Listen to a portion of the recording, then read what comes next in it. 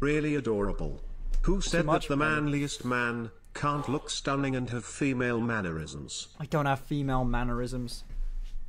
God.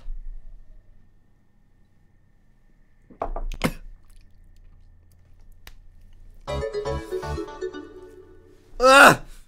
That was fucking dreadful. Oh my god, I'm a pussy. Ugh, I don't have female mannerisms. Drink it like a man? I am. Because I have male mannerisms.